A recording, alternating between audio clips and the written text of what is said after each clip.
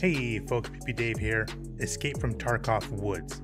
It's big, it's woody, every place kind of looks like every other place, so it's kind of easy to get lost, especially for a beginner. So here are some of the best beginner-friendly landmarks you can use in Escape from Tarkov, and let's just get right into it. First off, Sawmill. Sawmill, real easy. It's right in the middle of the map, adjacent to the lake, and since the mill is north of the lake, it makes for a great compass. Then we got the lake. The lake, along with the mill, is hard to miss. Following the shoreline with the lake to your left will eventually get you to two of the scav extraction points. You got the boat Dead Man's Place. If you follow the shoreline with the lake on your right hand side, you'll eventually get to the dual purpose RUAF roadblock extraction point, as well as a long, long road that leads directly to the factory gate and the UN roadblock extraction points.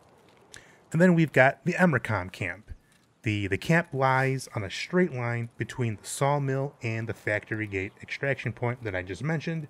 It's very close to the eastern edge of the lake, really hard to miss.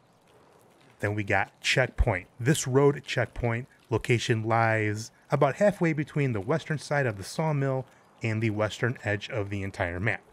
Following the road west and south away from the sawmill will lead you directly to three additional extraction points. You got the ZB014 bunker, Scav house, and to this little pickup truck which marks the outskirts extraction point. Ho ho, then you've got the minefield. The entire western and southwestern border of the map is just one giant minefield. If you find your legs spontaneously exploding, then you'll know that you found it. The good news is that there are signs marking most of the minefield, which leads us to the USEC camp.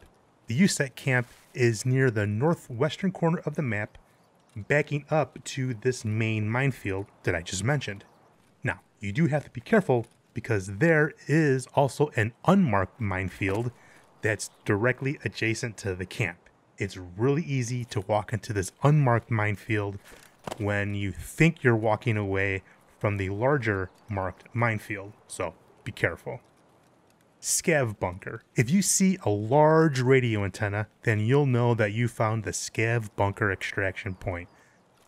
Like USEC camp, it's also near the main marked minefield. However, there is not an unmarked minefield, so it's much safer to walk around. Now we have the river. The entire northern edge of the map consists of a river with the Scav bridge extraction point on the western end and the bridge car extraction point for PMC players on the eastern end. Directly between the two bridge extraction points is Sunken Village. Some players call it Abandoned Town, call it whatever you want. And you'll know you found it when you see either this boathouse or this sunken church. Hard to miss. The road leading directly away from the PMC bridge car extraction point cuts right through the village. The northern end of the village is marked by a bus, and the southern end is marked by the road leading upwards towards this semi truck and the old sawmill. The old sawmill is near the middle of the eastern edge of the map and has a winding road which leads to the northern UN roadblock extraction point. Now we've got the plane crash site. If you're lost and you happen to come across the plane crash site, then you'll know that you're directly east of the main sawmill.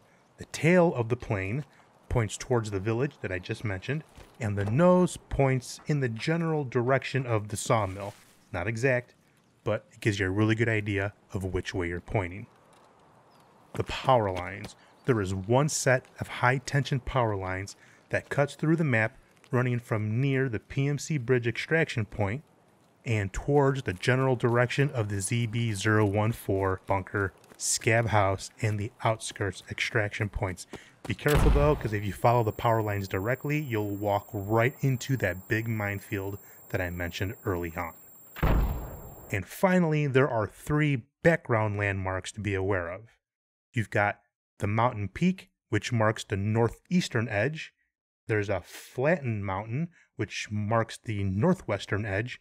And the large cooling towers mark the southern edge of the map any one of these landmarks will give you a general idea where you are and which direction you are pointing. That's it for now, folks. Let me know down in the comments below which landmarks you like to use. Hit subscribe and the notification bell so you don't miss anything new. I'll see you next time, and uh, always remember to keep on grinding.